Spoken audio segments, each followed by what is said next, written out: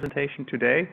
Uh, so we may wrap up a little early, but we'll see how the uh, discussion flows, and we don't have to have a hard stop at 2:00 P.M. So if we go a little bit longer, that's fine, too, but we can also uh, finish a little early. Before we get started, I want to see if anyone has any kind of updates for the group. Anyone, any news to report? Anything? Folks online, you have to unmute yourself or use the chat function. Do we have any news to report? Um, uh, we can. Um, okay. So future law registration is open. Uh, so I hope everybody checks that out. An email went out yesterday, and um, further email will be going out, but uh, check Codex FutureLaw, all one word, dot .com. Agenda to be posted soon. And next week, we will be, instead of our uh, Thursday meeting here, we will be having a Tuesday lunchtime speaker uh, meeting over in the classroom building. Julian Nyarko, uh, one of our newest law professors, will be speaking on his work in the NLP arena. So um, please join us for that, and more information on law.stanford.edu/events or um, your email inbox. Okay, cool. Thank you. All right, so with that, let's uh, turn it over to Philipp. Cool. Thanks a lot. Hi, everyone. Um, maybe want to one, two sentences about me, but um, we have more time for that later. So I'm, I would say, one of the only legal tech serial entrepreneurs from from Germany. So I founded my first legal tech company in 2013, which was a marketplace for legal cases, quite similar to Rocket Lawyer here in the States. Uh, we're doing that uh, for over six years and successfully sold that company to Anwalt.de, which is the biggest competitor. Um, and then I founded a company, and I invested in a company called VisaRight. We help people uh, in the whole process to getting a visa. Um, you had someone similar in the same area last week, which was quite interesting for us as well to share some knowledge. And now I joined um, lawpilots. So Um, let's start it.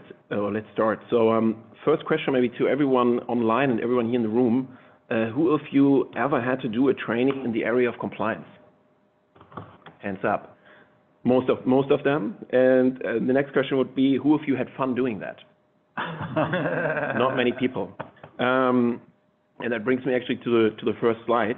So if you think you don't need employee training, uh, and you know, the thing is, it's expensive, um, so the thing is, try non-compliance, you know? So that's actually a big issue, but you know, it needs to be done. Um, the CCPA is a recent example. Uh, so we celebrated here in the States, uh, so one one month of CCPA, which is the California Consumer Privacy Act, which came into effect the beginning of this year, and it affects around 500,000 companies. So, um, we are the experts of GDPR when it comes to Europe, and uh, uh, but let me get back to that later. So, um, now we focus on CCPA as well in the States. Um, so the thing is, it's, you know, it's difficult, it's super boring, and it's very hard to train as well. Um, so, you know, regulation is a very hard topic, and the employees have problems understanding that there are trainings out there, classroom trainings, which are super uh, expensive and super time-consuming, and the typical e-learnings um, are boring and um, the employees don't like them. Um, so that's actually the reason we came up with our solution, and we offer super innovative, fun trainings everywhere in the world. We work with learning specialists together uh, with lawyers to build the courses, and I'll show you in a minute how they look. And, um, um, oh, can I actually... Should I maybe- What do you need to do? Uh, yeah, because you can't see the whole screen. Um, where should I click? To get the thing on the side away? Yeah. Just make it smaller. Because my mouse is is a bit away. Wait. No. Sorry, technical issues. That looks, at least on my screen, much better. Yeah. Folks online don't see that. Oh. Yeah, that's just- You can, you can you can. Can you give me the mouse? Okay. So we can... Sorry, sorry for technical issues, No but problem. I think then everyone sees it here in the room as well. So, so we established these courses. Um, we are three years old. We are based in Berlin, and we, we came up with this, these trainings. Um, when the, the GDPR uh, came into effect in 2018, we were already up and running and then sold the courses. So they're super fun, and um, your company will be legally, you know, compliant um, because you have to train. It's mandatory. You have to train your employees. Um, this is how our platform looks, um, and I will get more into detail in a minute. Um, we are super flexible, um, so you can buy courses online. You can call us. Um, so super easy to adjust the courses as well. So we do customization. At the end of every training, every employee gets a certificate, and we already have over 30 country and language versions. Why is that? Because the GDPR is a bit different uh, in Italy, a bit different in Spain, a bit different in Germany, so we always adjust the content. And of course, we have many languages to, you know, to, to scale the whole product. Um, so how do these courses look like? Um, we, as I said, we created these very intelligent uh, courses. So we, you know, it's all about gamification. So uh, you have a lot of fun. We have quizzes. We design these comics as well. Uh, at the end of every section, you have a test which you have to pass. You have at least you have to pass at least 75% to get the certificate. Um, and people love our courses. We have over, over 93% of our um, uh, customers are happy and um, and uh, tell everyone else that, they loved it uh, at, Trustpilot. And um, so that, that's what we do. And um, and I show you in a bit uh, how, that looks in detail. We are uh, in four different areas. So, um, so data protection is a, huge topic, which is mandatory. Uh, then occupational safety and health um, as well, which is you know work hazard topics, and then compliance and information security. So um, these these are the, topics we, we take care of, and we offer around 26 courses altogether. Um, so you can even break it down to compliance for hospitals, compliance for HR departments. So we kind of uh, go into the different niche topics as well. How do we make money? So it's a subscription-based license model. So we charge per employee, and uh, it's very good for us because it's you know these are mandatory trainings. So we train these companies um, or these employees every year. Uh, so it's annual recurring revenue. Um, they really trust us and give us, uh, you know, give us a trust, so they already sign up for three to five years uh, in the future to work with us together. We already, you know, have a view of, we always already cross-selling, which means that, you know, we we sell bundles to to companies, so they're interested in, you know, data protection and information security, um, and so forth, so on. So they give us a lot of feedback if they liked it, and, and we adjust the courses as well year by year, so they get better and we have fresh content. Um, some achievements, uh, we are very successful at. We already uh, are profitable uh, after the first 12 months, or became profitable, um, which was good for us. We have already a seven-digit turnover, which is good. We have 80% recurring customers, so around 20% churn, which is very good. Uh, We have around 850 companies worldwide, and I will show in a minute uh, we're working with, and um, our growing team in Berlin. These are some satisfied customers you see here. Uh, So why do I show that? Um, Because you see the range of different companies. So we just won Volkswagen. We have Aldi it's maybe famous in the States as well. So we have private companies, but we have as well um, public organizations uh, which which work with us as well. So uh, we don't go into a specific niche or so. So we really focus on every every company can approach us and, can work with us. So it's really a, huge range, and even you know single entrepreneurs can can train themselves. And then you know Volkswagen with thousands of employees, they they trust as well in us and, and, train their employees. A bit about the market. So uh, the market is growing every year. So um, Western Europe, uh, the market is is growing, which is, you know, relatively small when you see it on the left side. So the right side, when you when you're talking about the American states, so 40% of the global turnover Uh, is generated in the United States of America. So you guys here know what you're doing, and you know what e-learnings uh, are. And uh, so the market is growing every year, and people understand what we do. So these old, boring, you know, classroom trainings, no one is doing that anymore. Um, and, you know, these, let's say, ugly PowerPoints, which you have to click through, they are dying as well. So people understand that e-learnings are the future.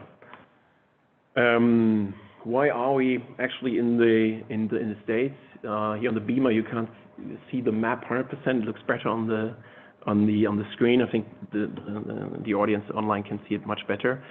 Um, mm-hmm. So, um, we just started in the American States here. We have an office downtown in San Francisco because the CCPA uh, just came into effect a couple of weeks ago, as I said, which affects many, many employees. Um, so, and they orientate uh, on the GDPR, especially, they like the German uh, expertise on data protection. Uh, Brazil will follow with the act by the end of August. South Africa is following, and here you see that really the world is getting closer together when it comes to data protection. So that is good for every one of us, I think, and it's good, of course, for us as law pilots, because people really want and have to train the employees. So, um, that's very positive.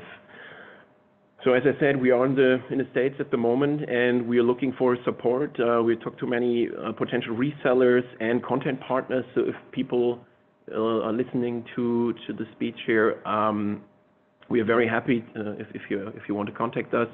Um, so we're looking for, you know, legal partners, content partners, and we build up a network here already of potential customers. If you're interested, you can Uh, test our courses um, online, or you can uh, shoot us an email if you're interested in testing our courses. And um, yes, um, that's basically it. A few sentences about the team. So as I said, I'm I'm the managing director, and I'm in the legal field for many years now. Uh, Dieter Kerkveld was or is in the e-learning industry for many years already. He's the founder of law lawpilots together with Simone and Katrin, who are lawyers, and then uh, Stefan, who is an expert in, you know, growing companies. So it's actually a very strong team we have. We are growing, and um, if you like, join the team, so uh, in Berlin or maybe here in the States as well. And um, that's actually it for me. If you have any questions, uh, feel free to chat with us here. Great. So, yeah, so, thank you. Thank you, Philipp. Uh, it's uh, so the uh, first question I have is, so this is to train all the employees in an organization, or is it for subsegments of the employees? And the second question is, is it, um, do you also offer courses for people to become, like, data protection gurus or data protection, whatever they call it, the data- Data privacy officers. They're all data privacy officers. Is that also part of what you do? Um, so, um, when you talk about GDPR, um, every so the GDPR is saying that every employee of a company has to be trained in data protection, which is huge. So even if you have your own uh, corporation whatsoever, in German, it's a GmbH or so, and you are the only employee there, you have to train basically yourself. Okay. So that's a huge market. I think there are 230 million people who potentially have to be trained, mm. uh, as well, to, you know, compared to huge companies with thousands of employees, which have to be trained as well. When you talk about the CCPA here in California now, which just got released, it's a bit different. So you have to train your employees, which are in contact whatsoever when uh, uh, with um, customer data, personal data of customers, which is not the whole company, which is more, you know, customer service, sales, marketing, not everyone, maybe people who work in the tech area as well. So that's a bit limited, but it's still a huge market for us. Okay. Yeah. And our so we talk. There was your second question. We talk, so we approach the uh, compliance officers of huge companies. If the company is a bit smaller, we talk to the CEO of the company, um, who then, you know, is testing our courses and then decides if he want to work s if you want to work with us or not, or the data privacy officer or the HR department as well. So we have different kind of touch points in the company. Mm-hmm. speaking about uh, data protection, uh, how are you using the data of your own customers? Are you like uh, using it to improve the course offerings and that kind of stuff? Um, we have to be very careful as well because we are in like in the tank, in the shark tank. so, so we have to be careful. Um, That was a tricky question, right? so, so what we do is, uh, of course, we know how, how um, and we get better on that. You know, at the end, it's uh, you know, we have to know how long do people take to to to to go through the the course. It's between normally between 20 and 40 minutes. That's what we that's what we say. So people who know the topic already are super fast and do it in 20 minutes. People who have had no touch point whatsoever before with data protection, they need more than an hour or so.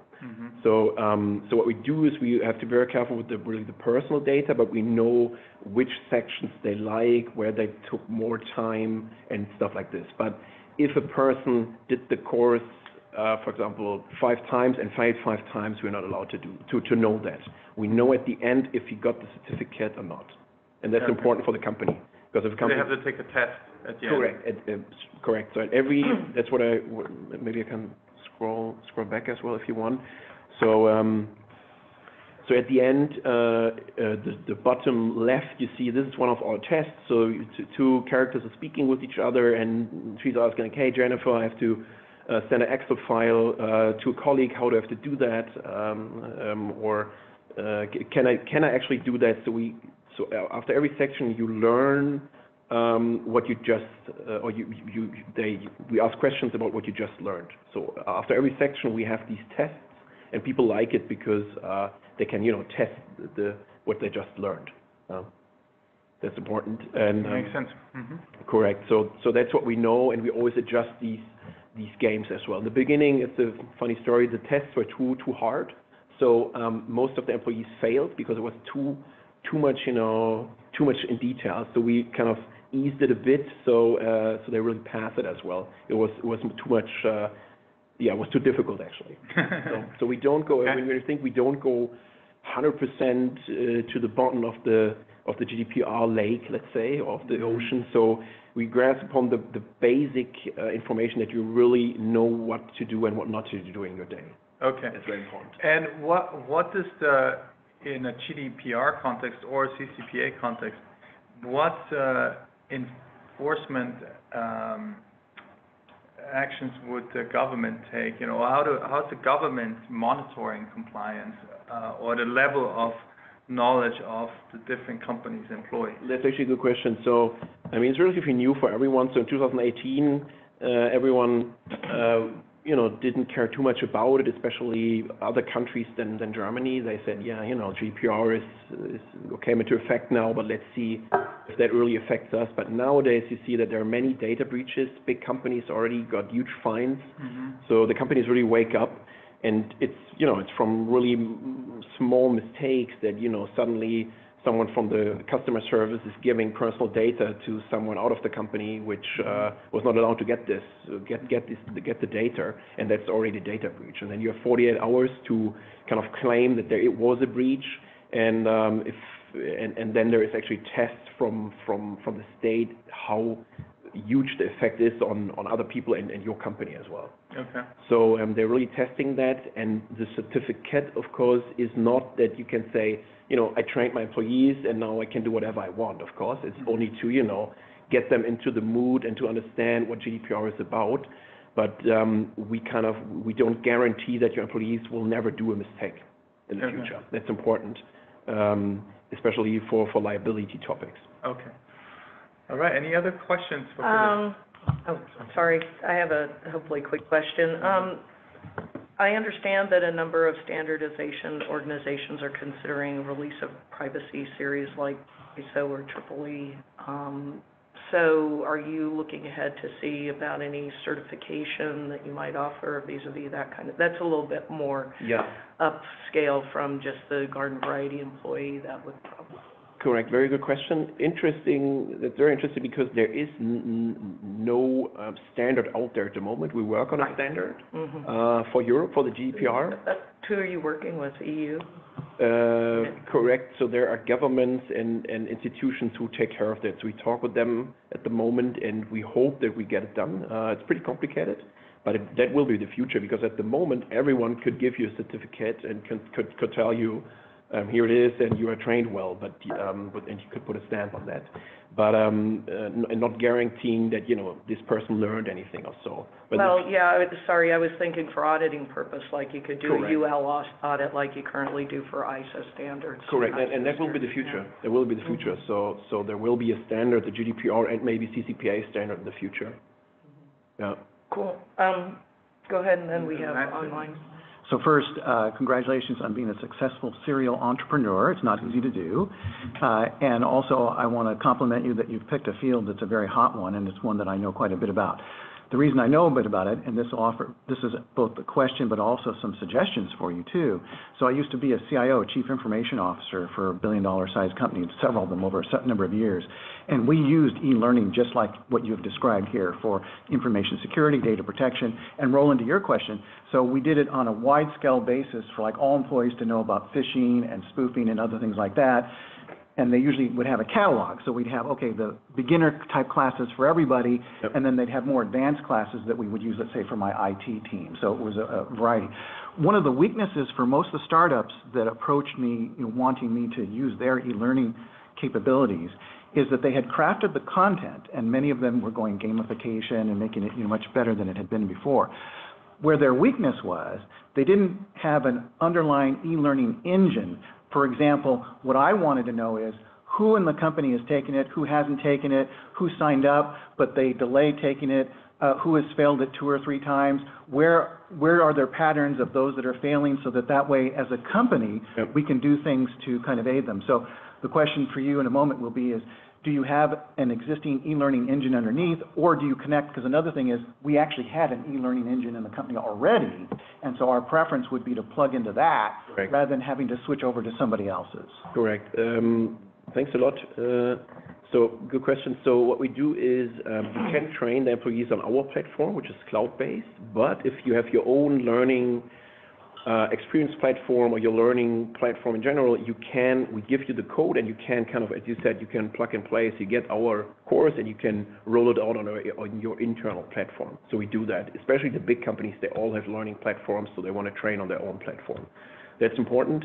Um, I, I again uh, went back to that slide. So you can see on the top right, you see our management cockpit. That's how we call it. So there you see your different uh, employees, and you, see uh, who already passed the, who got the certificate, who still has to do it. You can send out automatic reminders uh, to your employees saying, "Hey, you didn't uh, do the, um, course, um, you still have to do it." So we send the reminders, and we go more and more into this, uh, as I would call it, business intelligence. So to know more, like what they like, where do they drop out, uh, why do they stop here, and all these information. It's important. Maybe one more detail, uh, detailed thing about our courses is that you can always, uh, when it's in the browser at least, when you do it with our platform, you can kind of pause, you can, I don't know, grab a coffee and whatever, and then continue tomorrow. That's very important. You don't have to do it in once. That's very important. That the, employees love that because you know how it is, especially for example in the in the hospitals. You do the course for five minutes, then there's emergency, you have to go again, you know, to you know, help people. Then you go back, then you have again five minutes to to finish up. So um, that, that's so we listen to actually a lot of our customers and clients, and we want to know how they train, what is difficult. So a lot of let's say customer feedback, which we which we get. So um, so we are growing on that. And I think there was another question you had, content-wise. You know, it's important that we get always the um, the kind of uh, the check, the stamp of a, law firm saying that the content which is delivered here is on a standard that um, it's not, you know, super, super 100% deep, so um, an employee would drop out, but it's not, you know, only the first 5% of GDPR. So we, as I always say, we at Lawpilots, we translate legal language to you know, normal speaking language. That's very important. In our courses, there's there's non paragraph uh, sign or whatever. So it's all. So think about it, there is someone who had no connection whatsoever with data protection. He will get what data protection is about, and that's actually our huge golden key, I would say, to success. And we're looking here for partners at the moment to to get this kind of stamp as well for for the states. Okay. Um, Yeah, First of all, congratulations to that approach. I think this is very, very valuable that you like translate the legal terms into a normal, understandable language uh, for all of all of the employees. What I was wondering about, um, with regard to this slide also, um, you told us a little bit about um, the ava- availability uh, availability in over 30 countries and languages. Um, this does not only, you know, like mean different languages, but also is this also related to the content? Like you, you know, maybe um, that there is these opening clauses, and what I was wondering about is this also, or does this also mean that you have um, the national, um, yeah, differences in We- mind? Like, We do, we do. Good questions. Uh, Okay. I thought I'm trying to make that, or made that clear before. So that's actually what we do. So GDPR differs in the different countries. So we always work with experts in the different uh, countries to adapt the courses to the national needs. Um, So the, or for example, if you book the uh, uh, GDPR course for Italy in English, it's different than the one in English for Germany, or the one in Spain in, uh, what's a crazy language? Uh, Romanian, for example. Uh, So we can offer that. That's well, the GDPR itself is not different, but rather like, you know, the federal uh, data protection Correct.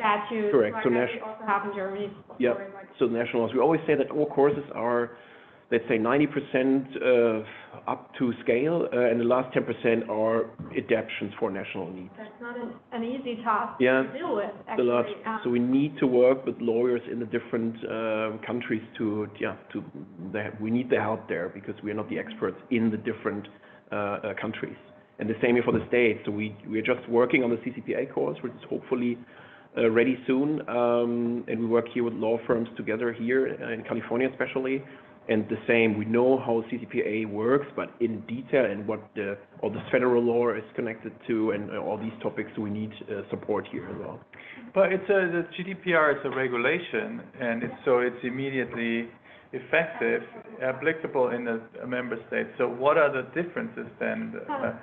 Yeah, the problem is, um, it's a regulation, but indeed, um, there are several opening clauses, which makes it, in, to some extent, um, kind of turns away from the- being a regulation, but being kind of flexible when it comes to national, um, differences or, Implementation or something? yeah, implementations. like, Implementation. Especially, for example, uh, Germany has made use of um, these opening clauses for the tax code a lot because federal administration doesn't want people to say, okay, can I have access to all my uh, tax data?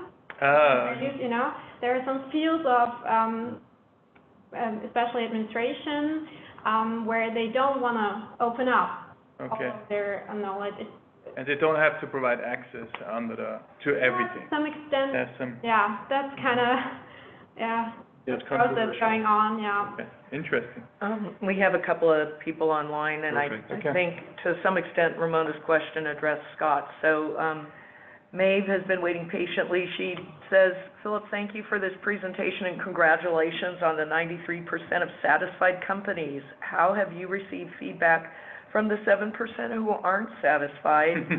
And what did they not enjoy about your product? Um, I mean, so, so, uh, They one- just got up on the wrong foot in the morning. maybe, no, I mean, it's, you know, it's, it's a personal thing, thing. So for example, some people think it's very, um, you know, you can do it in twenty minutes and, and, and you're happy and you're done. Uh, some people take an hour and then they were, were complaining that, you know, it takes too much time, for example. There was, there was, that it was too long. They, um, didn't pass the test maybe. They said it was a bit too hard in, um, in, in, in, in a specific area. So these are probably the seven percent, I would say.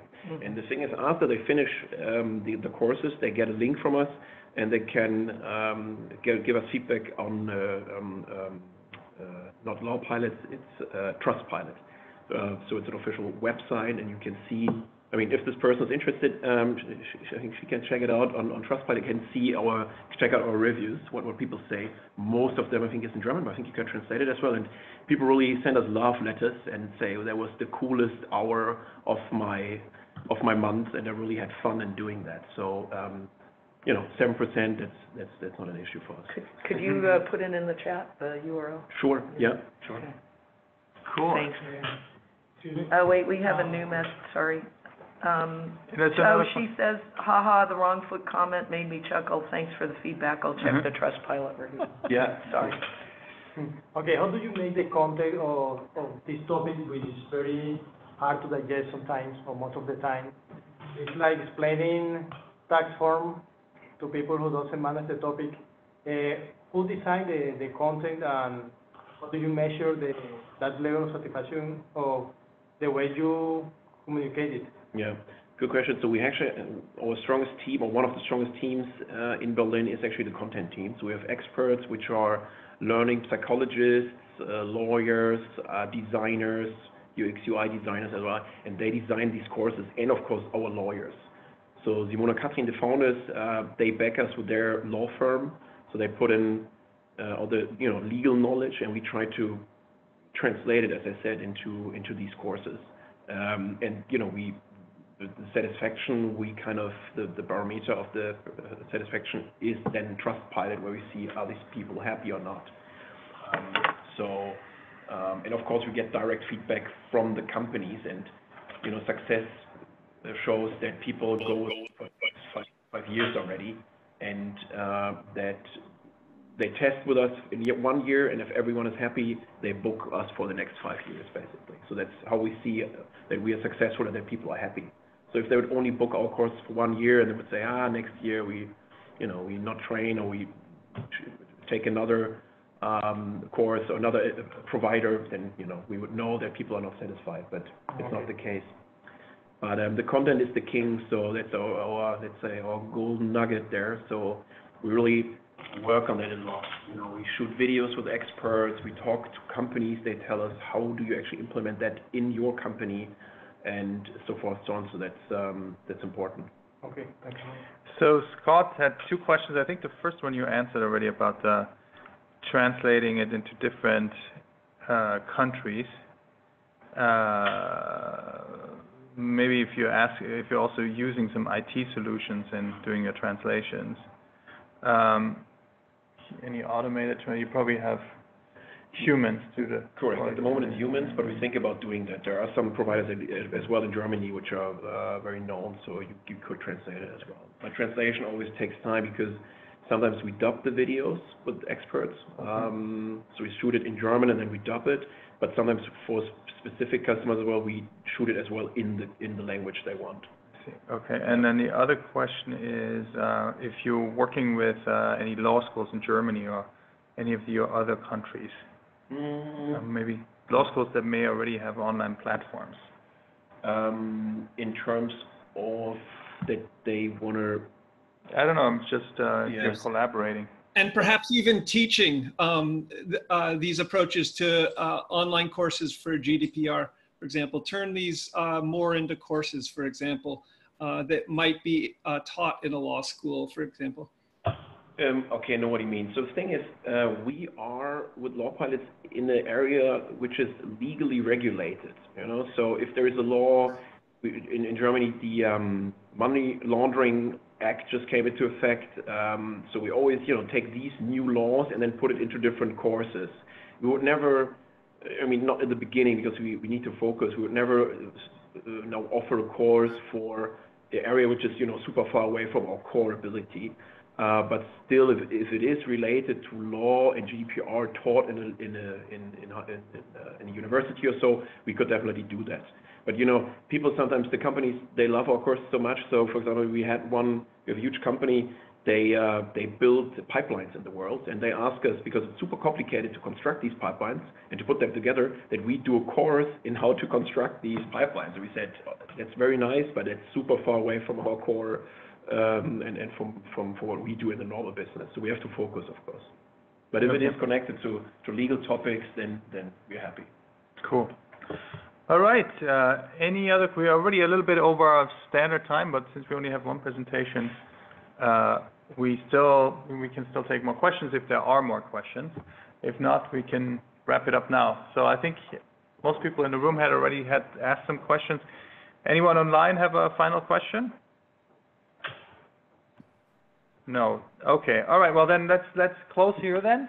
uh, thank you all for, for coming. Thank you, Philip, for, for coming in and uh, telling us about your exciting venture. Uh, given your track record, uh, given everything you shared, this, uh, it seems like it's going to be your next, uh, next big, big uh, success story. Pleasure. And, and one And- sentence maybe, so we are here until the end of March for sure. Maybe we prolong as well and stay for good here and open a company. So if people want to help us here in, Yeah. in California, happy to, to, you know, to, to get in talk with you guys. And, um, Great. Yeah. So uh, I think that's good to know. You might actually, you know, kind of uh, put a link or something on our Yep. Facebook group. There's many times that people who are uh, actually looking for opportunities like that. cool.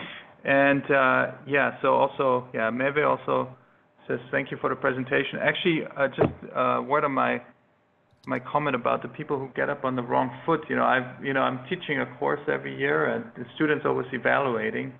Uh, this, you get a questionnaire at the end of the uh, uh, end of the course, and most of the time people are always uh, excited and thrilled, but there's always someone. so, not to like you know, not to look for justifications or something. And there's you know good points that people have, but sometimes people just uh, get up on the wrong foot. So that's why I said that. Anyways, uh, okay, well, uh, uh, okay, all right. Well, great, great session. Thanks for coming, Thanks and uh, please join us next uh, Tuesday for um, for the session with uh, Professor uh, Nyarko. Um, and uh, yeah, you'll you should receive an you should have received already some information Yeah. about it, but we'll send out And we're- probably another reminder before we before the event. Okay.